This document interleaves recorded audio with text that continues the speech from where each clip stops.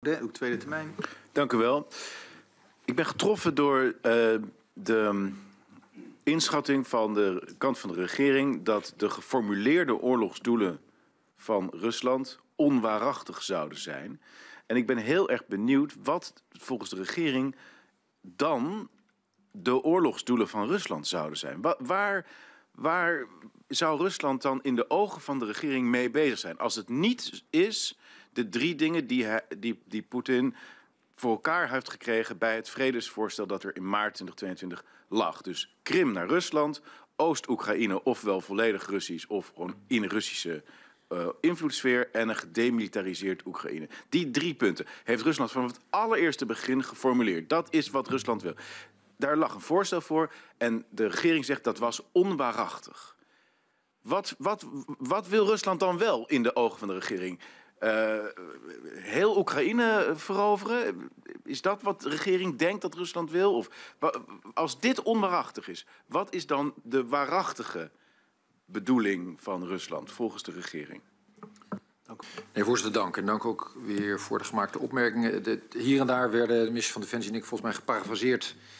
Uh, nou, wat, wat, wat losjes. Ik denk dat wij dan toch zullen verwijzen naar de opmerkingen zoals wij die uh, zelf hebben, hebben gemaakt. Volgens mij was er nog één vraag aan mij gesteld. Uh, de heer Dassen die zei, ja wat nou als het, als het toch niet gebeurt? Hij gebruikte daarbij overigens de woorden wat nou als onverhoopt het kabinet valt. Nou, dat klopt mij als muziek in de oren. Ik vroeg me wel af waarom hij dan altijd al die moties van wantrouwen had gesteund, maar dat is een andere discussie.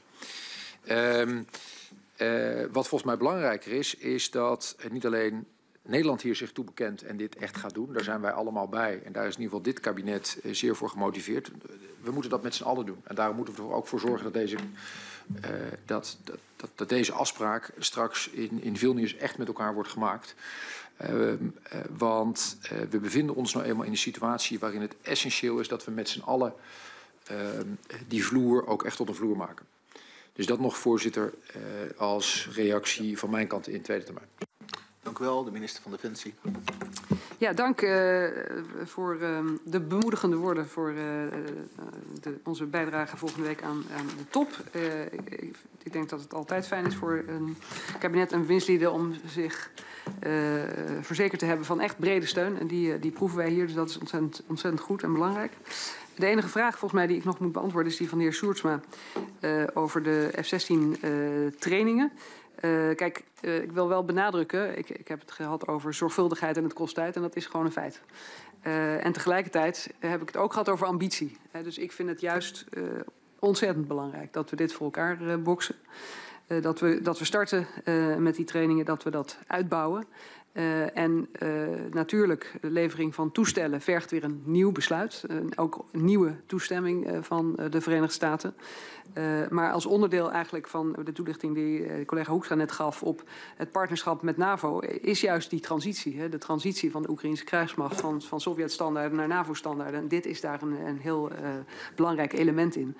dus dat, dat is natuurlijk wel wat zich aan de horizon aftekent. Dank, voorzitter. Dank u wel, de heer Baudet. De, ik heb geen reactie gehoord op mijn punten. Ik kijk heel even naar mijn rechterzijde. Er is geen aanvulling ten aanzien van wat er in eerste termijn is gewisseld. Ja, voorzitter, ik, ik, heb dat verstaan als uh, een, een, een, een, nieuwe bespiegeling over uh, hetzelfde onderwerp wat we in, in vijf tranches gedaan hebben in de eerste termijn. Ik, ik heb ook een hele duidelijke vraag gesteld.